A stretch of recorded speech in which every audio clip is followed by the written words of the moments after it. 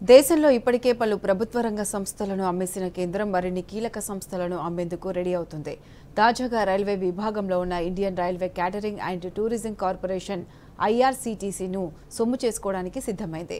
Offer for sale ద్వారా ఐఆర్టీసీటీలో stock ఎక్స్చేంజ్లో ఐదు శాతం వాటాను విక్రయిస్తుంది. షేర్ల వాటా ధరలను కూడా కేంద్రం నిర్ణయించింది.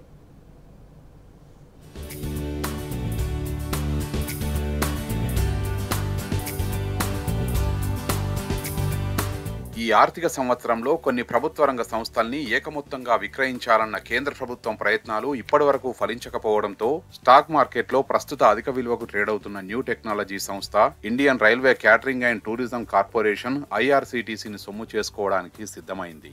ఆఫర్ ఫర్ సేల్ ద్వారా ఐఆర్సీటీలో స్టాక్ ఎక్స్చేంజీల్లో ఐదు శాతం వాటాను విక్రయిస్తున్నది. షేరుకు ఆరు వందల ఎనభై రూపాయల చొప్పున ఫ్లోర్ ధరగా నిర్ణయించారు.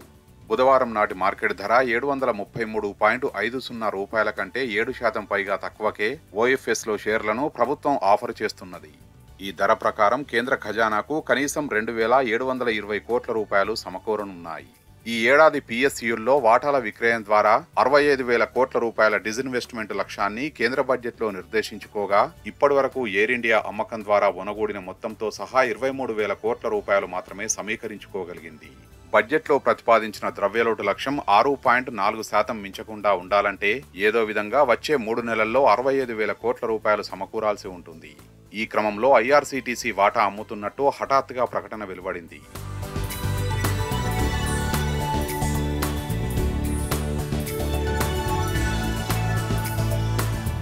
బిఎస్ఈ ఎన్ఎస్ఈలో డిసెంబర్ పదిహేను పదహారు తేదీల్లో ఓఎఫ్ఎస్ ద్వారా షేర్ల విక్రయం జరుగుతుందని ఐఆర్సీటీసీ బుధవారం స్టాక్ ఎక్స్చేంజీలకు తెలిపింది.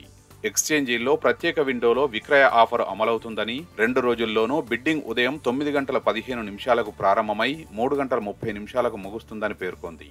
డిసెంబర్ పదిహేనున నాన్ రిటైల్ ఇన్వెస్టర్లు వారి బిడ్స్ను సమర్పించవచ్చని ఆ బిడ్స్ను క్యారీ ఫార్వర్డ్ చేసుకుని ఆ మరుసటి రోజున సవరించుకునేందుకు అనుమతిస్తున్నట్టు ఐఆర్సీటీసీ వివరించింది.